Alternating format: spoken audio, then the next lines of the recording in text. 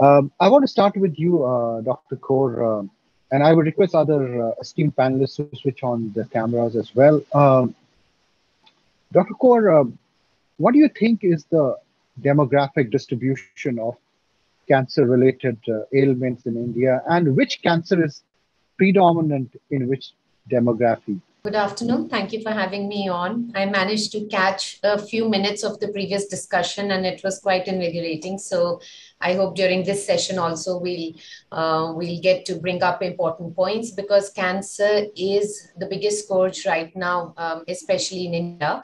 And when we talk of um, you know the distribution of cancer and the demographics of cancer, uh, first of all, if we look at what are the commonest cancers that we see in India, so it's um, lung, breast, oral cancer, esophageal cancer.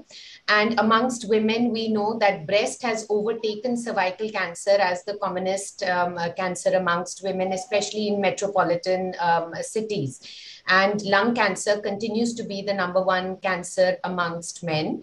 Um, distribution of cancer, we know, uh, depending on the type of cancer we are looking at, you know, like Northeast has the highest number of cancers, especially oral cancers. Um, uh, and uh, Aizawl actually has the highest number of, of cancers in the country. So if you look at the demographic distribution of cancer overall in India, um, we see that oral cancer, especially amongst the tobacco chewers um, and the use of tobacco is, is on the rise along with lung cancer and breast mainly amongst women. In India, and which cancer is predominant in which demography?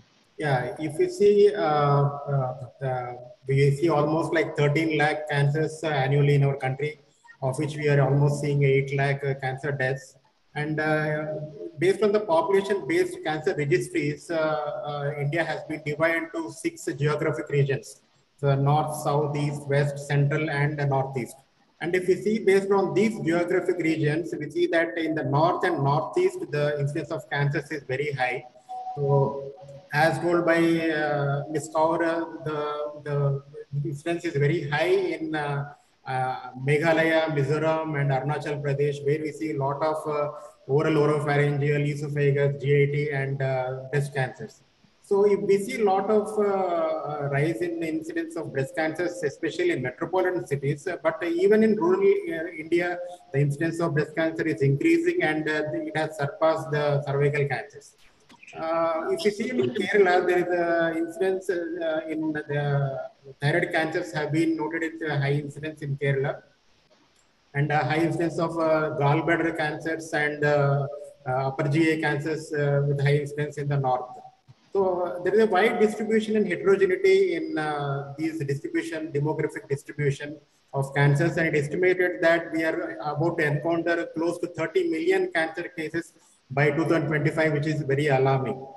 I can totally, totally uh, understand. You know, uh, Dr. Rajender uh, is here with us. Um, uh, so, if you can hear me. So, my first question, I'm on my first question, which was uh, what do you think is the demographic distribution of cancer related ailments in India? Which, uh, you know, which are predominant in which areas, according to you? So, I belong to Uttar Pradesh, UP state, and uh, Uh, in this state along the belt of uh, Ganga Ji and uh, then other rivers. So there are most of the uh, of these uh, commercial waste, you can say industrial waste that is sent to the um, these rivers.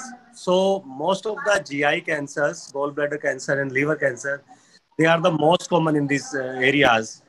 Similarly, if you see the um, uh, this Kashmiri part, Srinagar part, so these people, they consume a lot of uh, spices. So there also we see a lot of GI cancers, uh, intestinal cancer, stomach cancer. Similar is in the southern Indian part where people take a lot of spices uh, in their meal. As uh, you go to these states like Bihar, uh, poor people, they used to uh, chew khaini and you see a lot of head and neck cancers coming from Bihar belt. So these are the demographic variations uh, which we see in our country. Uh, Dr. Kaur, uh, is there a correlation between the gender and mortality rate? If yes, then in what age group does it cause more mortality? We do a disparity in, um, you know, the mortality uh, with regards to gender. Now, whether these are more strongly related to the etiology of the cancer rather than the prognosis, that depends from cancer to cancer. Um, you know, as a general rule, we know that um, older the patient, above 80 or above 70s, then obviously um, the, the mortality from the cancer is more, part of it also, which is contributed by treatments because patients who are older are likely to suffer from more severe complications of, say, therapy or uh, the anesthesia, which we give for surgery and things like that. Uh, but we do know, and you know, if you look at data, they talk about mortality in uh, much higher than that in women. Now, um, a lot of times it could be because of risk factors like smoking and alcohol consumption, which are more prevalent amongst males as compared to uh, females. So these are lifestyle choices that we see, and they could contribute to more disease burden disease getting detected late because of um, you know the behavioral things.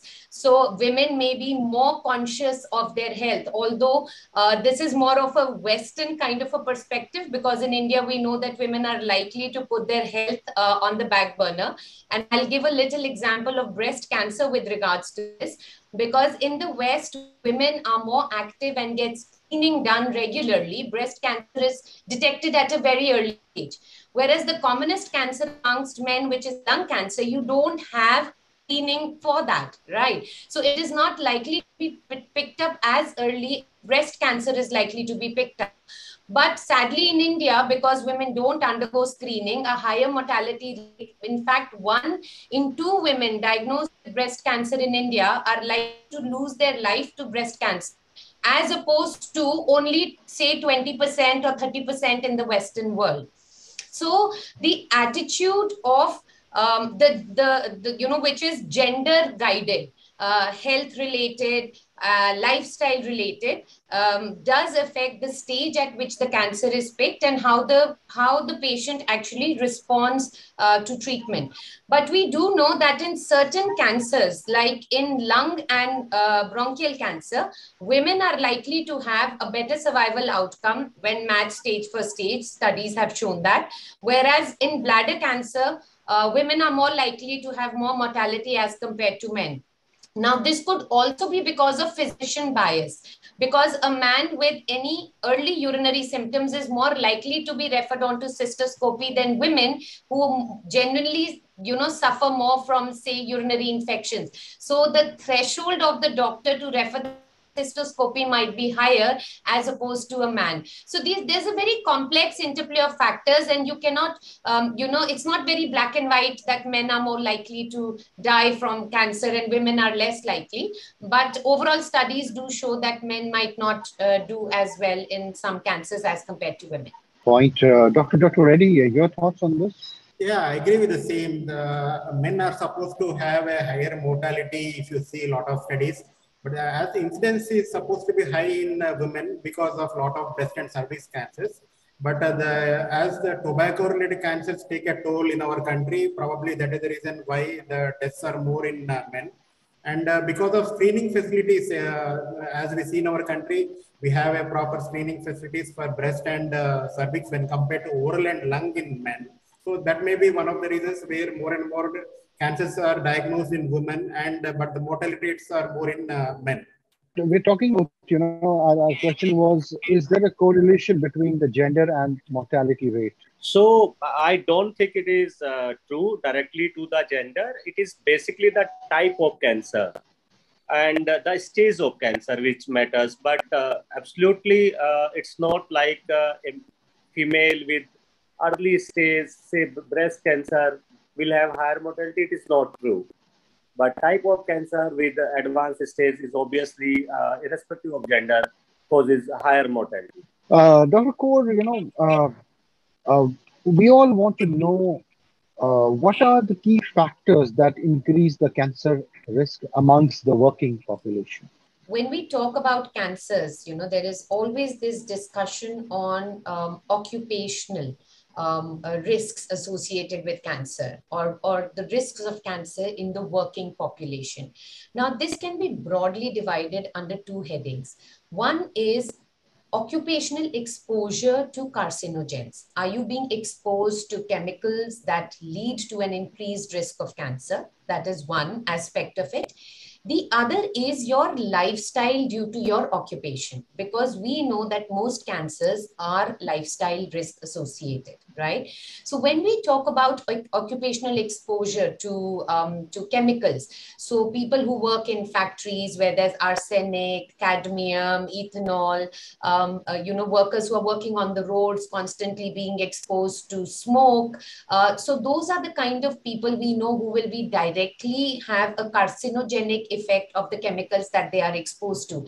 And I think with the Industries Act now that is um, that is very strictly regulated. A little example also of doctors who work in the hospitals, who work around machines that have radiation exposure for them.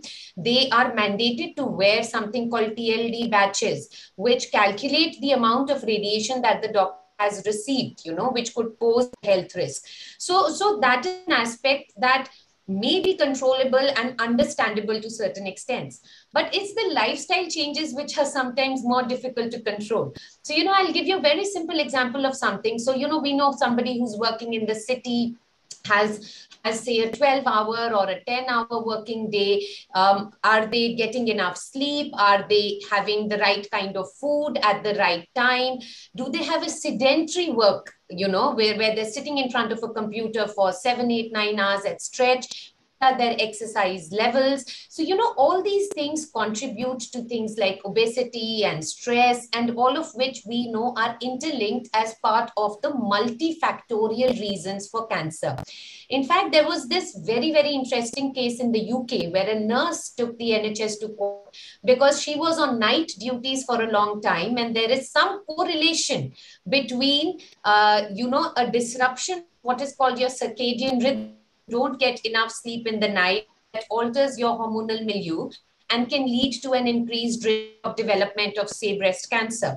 So, um, occupational factors definitely pose uh, a risk of cancer, um, and they have to be understood in the broad spectrum of what I have discussed. And I also know that now corporates are actively looking at healthy lifestyle for their employees where regular health checks are done regular health talks are done so that you know people are more and more aware about the risk that sometimes even a simple sitting on a chair for 8 hours can pose. So so you know that is how occupational hazards are associated with cancer risk. We all know that uh, these uh, physical agents in the form of uh, pollutants, uh, there's arsenic, uh, asbestos, silica and cadmium, all these are potential carcinogens. And as we all know, the smoke which contains a lot of uh, polycyclic aromatic hydrocarbons as a main cause of lung cancer. And the radiation hazard is uh, well, very well known. Apart from this, even biologic agents, uh, especially for healthcare workers, where there is a risk of contamination from the infected body fluids, especially by the housekeeping staff, in the laboratory technicians who may get exposed to ethylene oxide, formaldehyde. These are very small things, but they may go a long way if a proper protection hazard, I mean, protection gear is not followed. So uh, potentially speaking, uh, there is a lot of risk uh, which is uh, probably previously underestimated for healthcare workers. And uh, it is time that all healthcare workers should take care of a proper sleep patterns, proper diet patterns, so that the hormonal milieu in the body is maintained, which may actually have a long-term effect on the cancer. So the study which was done on the breast cancers uh, regarding the stress and long hours and night shifts has shown some correlation, though it is not directly causative. It is time to think that uh, uh we have further studies and take care of these uh, changes in uh, shift timings, especially because uh, we, we are facing a, a, a high rampant increase in breast cancers. Dr. Kaur, uh, do you think uh, micronutrient intake and proper vaccination steps can prevent uh, cancer at an early stage? Does it help prevent cancers as well in the long run? Two components of your question again. One is vaccination, and the other is micronutrient intake. Um, I'll talk about micronutrients first. You know, we as a, a generation are sadly encased in these food fads about suddenly one day micronutrients become the holy grail of preventing disease and another day less carbohydrates and another day more protein. And i think nothing harms the body more than not understanding that we need to have a balanced diet. And if you are having a balanced diet then micronutrients form a part of your diet so if we look at our traditional Indian diet, if you are having your wheat, your rice with a vegetable, with yogurt, with salad, that is the healthiest form of meal to have, which takes care of all your micronutrients nowadays you see these fads about um, you know they they give microgreens and and all sorts of things to be included in diet. But i will honestly tell you that for a healthy person if you follow the lifestyle advice that your grandmother had and understood seasonal variations of food and eating what is native to your culture and your country then most of the problems are sorted we do know certain micronutrients like selenium and vitamin D uh, have been linked to breast cancer and other cancers. But we also know that when you put an information like this out in the community, people start overdosing on supplements of selenium and vitamin D, which is actually detrimental rather than being helpful. So it is very, very important to understand to not to get involved in the food. Please to not to get involved in the fad in the food fads that we are you know nowadays um, sadly getting involved in. Having had said that um, you know i think even as cancer doctors who practice allopathy sadly uh, we talk about our medicines but we we also need to understand dietary influences uh, more and more to be able to guide our patients better uh, into recovery from treatments of cancer and also hopefully reducing risks of further cancers developing. So that's the nutrient bit. Now coming on to the vaccination bit um, vaccination which is the most successful for preventing cancer is that the cervical cancer vaccine, which ideally should be given before the first sexual exposure. And that is why girls as young as 9 and 10 are told to take the cervical cancer vaccine. So that definitely reduces the risk significantly of developing cervical cancer. Um, but for other cancers, there are no definite vaccines available, which will reduce the risk of, um, you know, developing that cancer when we are talking of risk reduction in patients who are proven to be genetic carriers, mutation carriers, there are other ways of risk reduction, not vaccines, but there are surgical and medical ways of risk reduction.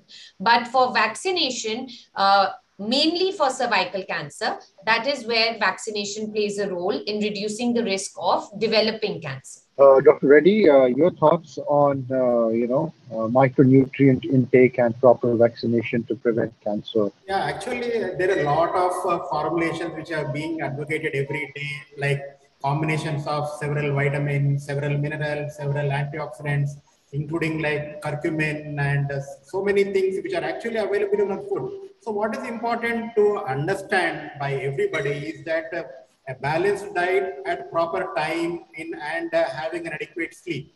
So meeting uh, recommended daily allowance of all these nutrients, especially like uh, having fresh fruits and vegetables and uh, including all types of, it said that uh, like greens, yellows and reds, having a colorful diet with uh, having adequate quantity of fresh fruits and vegetables is very important. So if we have a balanced diet, we definitely will meet the required dietary elements and there is no need to take all these formulations.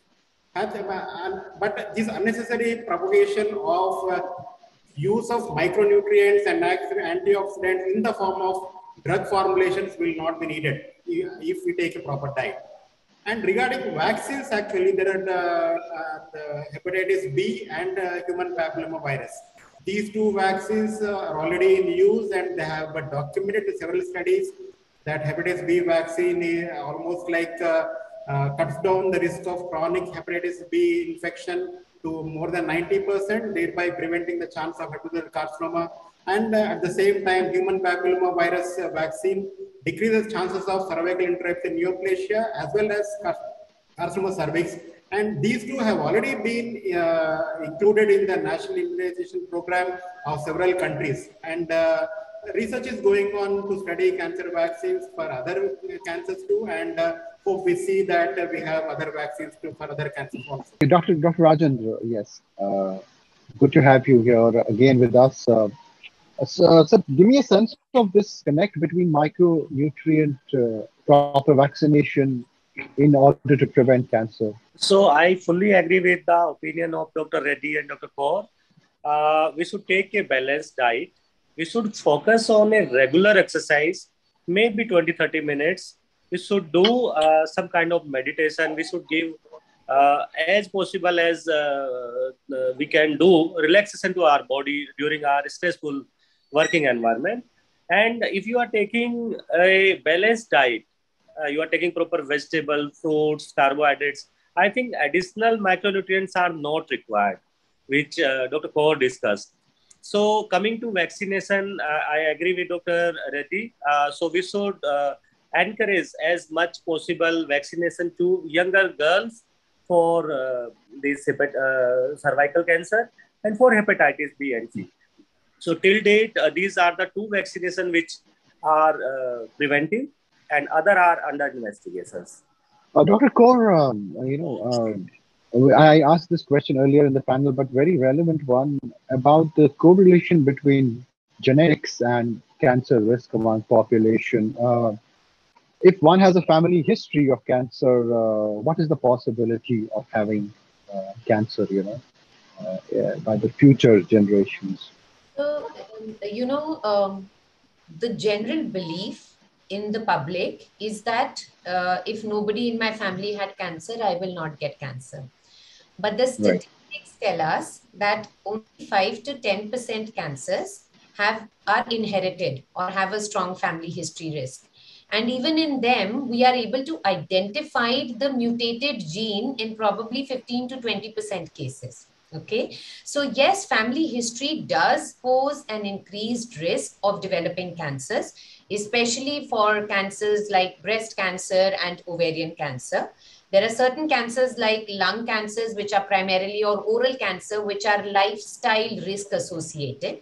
Then there are certain cancers that we know which fall under hereditary cancer syndromes, where the patient is at a risk of developing multiple cancers in different parts of the body. Now, what is important is that if somebody has a family history of breast cancer, which is strong, they should definitely visit a cancer clinic where the doctor can guide them about genetic counseling. Now, I'll tell you one sad story about, sadly in India, what happens is that the moment you, you know that there is a genetic test available which can find out whether you have a risk of cancer, sadly, these tests are available in the market even without proper genetic counseling. And getting these tests done without the guidance of a genetic counselor can call open a Pandora's box. So it is very important to understand that if you have a strong family history of any type of cancer, then you must visit the cancer clinic, talk to your oncologist, talk to the genetic counselor, and understand if certain genetic tests can be done to identify the mutated gene which can lead to that cancer. And before you have such a test, you must have a discussion about what will be the action taken once that test is done. Because sometimes patients get this test done and oops, it comes back as positive, And then they are not ready to discuss options like, I'll give an example of say, if the gene called BRCA1 and 2, if that comes positive, you're at a higher risk developing breast cancer or ovarian cancer and it is obviously for a healthy female to tell her that you need to remove your breasts and your ovaries to reduce your lifetime risk of developing cancer is a very, very big decision. So all this discussion must be had before the test is recommended and done. Sometimes in some cancers, like in breast cancer, there may be no family history, but we have certain guidelines about certain types of forms of breast cancer in younger women, where we will still do genetic testing to understand whether they have a mutation that led them to develop this cancer. And then we can counsel their family accordingly. Having a genetic mutation does not lead to a 100% risk of developing the cancer. It does increase the risk to 80 to 85% lifetime risk. and doing surgical risk reduction like Angelina Jolie did for her breasts and ovaries reduces that from 85% to less than 5%. So that is how we counsel patients. And I'll tell you, this is the most difficult discussion in clinic In fact, only yesterday I was talking to a patient who's BRCA positive and she was telling me कि आपने मेरा ये test क्यों कराया? अब lifelong I am going to be worried that I will develop cancer in the other breast and in the ovaries I did not want to know I do not want to get my daughter tested so, you know, you don't want to be in that kind of scenario after the test is done. So, these tests have to be done very sensibly after discussion with the genetic counselor, understanding the family tree of cancers, and also understanding like sometimes if somebody has breast cancer, they may also have other cancers in the family. So, just doing a BRCA1, BRCA2 may not be enough. They may need what is called multi gene testing. And that is why a genetic counselor is the best person to have this discussion. No, absolutely. I think it's also about uh, dealing with that uh, trauma and finding ways to, you know, help patients deal with it. Of course, uh, under expert advice. Uh, Dr. Reddy, uh, your thoughts on this interplay between genetics and the risk among, uh, you know, risk of getting cancer? Yeah, I would like to add some things. so, as rightly said by Dr. Kaur, there is something like we have a genetic testing and if a genetic test comes positive, uh, most patients become panicked that they're definitely going to get a cancer. So it's very important to counsel. That is a part of genetic counseling where it is important to counsel that it is not uh, a definite 100% uh, incidence of breast cancer and uh, there is an option of a risk reduction surgery. So in routine practice, what we see are two sets of patients. One are with too much of fear and too much of neglect. Patients who are with too much of neglect, they don't come forward for a gene testing even after counseling and patients who are with too much of fear, uh, they are actually, actually, they want a surgery. In fact, there were patients who were coming to me at, at that uh, stage where Angelina Jolie had a risk reduction surgery, even without any genetic risk, even without gene testing, they were asking that to ask uh, for the both the breast to be removed. So here we are encountering uh, like uh, two extremes, which is not correct. And uh, the thought should be in, in between and a balanced way and the patients have to be counseled in a proper way. And definitely these risk reduction surgeries in the form of bilateral prophylactic mastectomy, bilateral salpingo-oophorectomy, and in case of Lynch syndromes like prophylactic uh, oophorectomy, and uh, as we see in hereditary non, uh, non-polyposis colon cancer, in familial adenomatous polyposis, a prophylactic total prop, uh, proctocolectomy, and in RET proton, in uh, positive uh, thyroid cancers, especially medullary thyroid cancer is a part of MEN syndromes. We go for a prophylactic thyroidectomy. All these are prophylactic cancer surgeries which are done in gene positive and risk where the risk is high. So these risk assessment is done after a genetic testing and by certain uh, computer aided algorithms where it is calculated based on, for example, in breast where the Gail risk model uh, and Claus risk model uh, assesses the risk, the lifetime risk is more than 20%. BRCA positive and multiple uh, members in the family, first generation, second generation, they are positive. So they are assessed by several criteria and then they, we opt for a risk reduction surgery. It is not just like that we have a family member positive and then we are definitely going to get a cancer. So that is very important to educate the patients and then they have to take it in a proper way. Uh, radiation is said to be a major uh, contributing factor in increased uh, cancer risk uh, do you think use of radiation as a treatment increases the risk of developing other cancers? So, if you, uh, if I handle your first comment that uh, radiation increases the risk of cancer, it's true. We have seen that after World War, Hiroshima and Nagasaki event, there was huge uh, increase in number of cancers uh, there in next 20, 30, 40 years. But if you see the modern uh, radiation techniques used since last 20, 30, 40 years, where you gave targeted radiations to the tumor only. And now we don't use much of the uh, radioactive cobalt source in our external radiation. We use X-ray based uh, radiation therapy. These uh, machines, which are modern linear accelerators, which uh, uses these modern X-rays, so uh, risk of uh, second malignancy after say 20, 30 years is very marginal. If you see the actual incidence of cancer and if you see second malignancy in a patient treated by radiation, is not uh, much of the uh, higher value. So they, they are almost the similar uh, risk. What happens once a patient got uh, cancer first time? So there are few uh, changes, few lifestyle or you can say working environment related or is habitual that he is prone to have second type of malignancy as we say in head and neck cancers so once a patient had first time head and neck cancer treated by surgery or or maybe radiation he or she is tend to have second malignancy and it is known as a field cancerization but yes uh, theoretically speaking radiation uh, causes little higher risk as compared to a population which has not been exposed to radiation.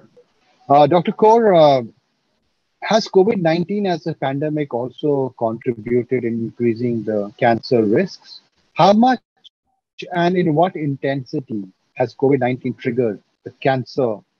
You know, no, kind of been a trigger as far as prevalence of cancer is concerned. I think our generation and for many generations to come can blame COVID for everything wrong that went with the society.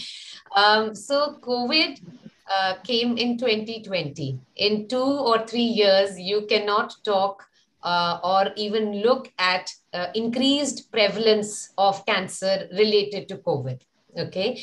But what we uh, do know COVID did, um, sadly, um, it led to patients not coming in time to seek timely treatments.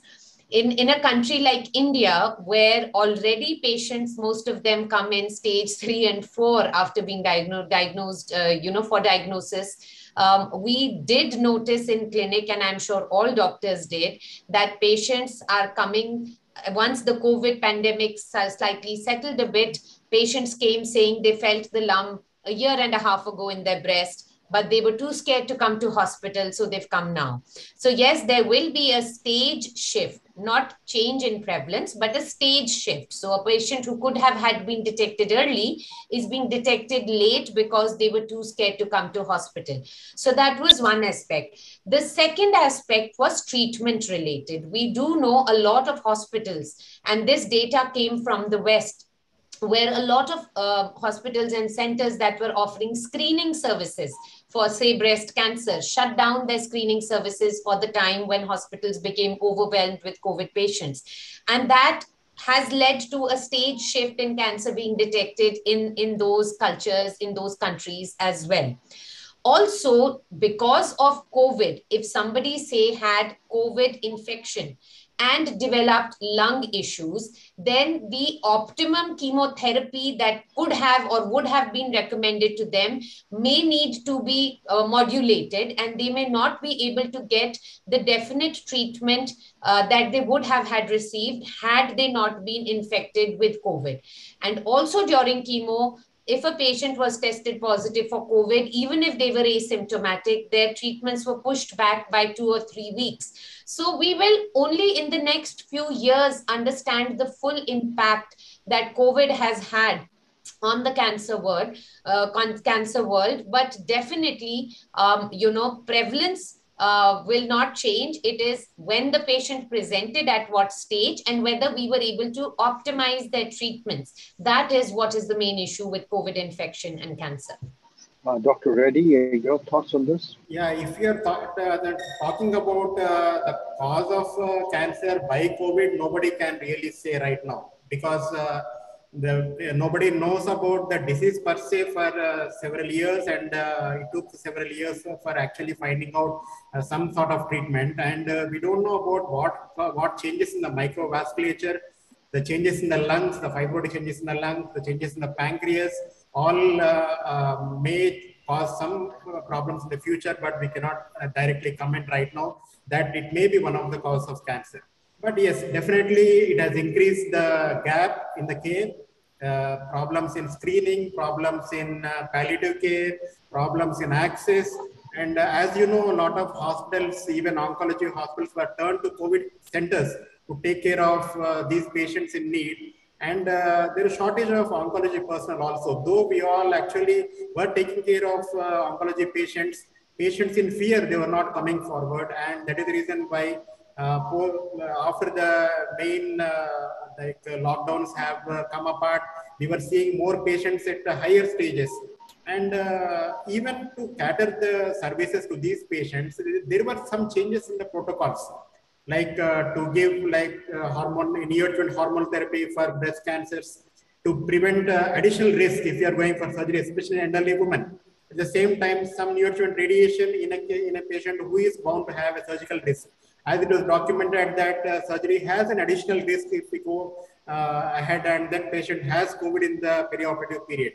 So yes, there were definitely a lot of uh, challenges and um, uh, the patients had a lot of trouble and now we are seeing a lot of patients who are coming uh, forward who, who actually might have cancer at that time, but coming for treatment now. So there is a lot of cancer burden.